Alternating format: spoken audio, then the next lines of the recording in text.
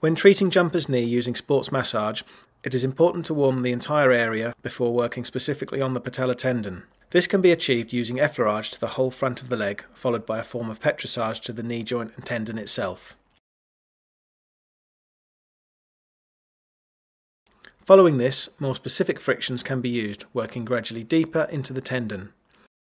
Use one or two thumbs to friction across the tendon. This will help break down any adhesions within the tendon and also increase the blood flow to aid healing. Massage may also be applied to the quad muscles. This is especially helpful if the quad muscles are tight, as this may be contributing to the injury. Petrissage techniques where the muscle is kneaded really help to increase warmth and flexibility. Deeper techniques, such as stripping and frictions, can also be used on any specific tight areas of the thigh.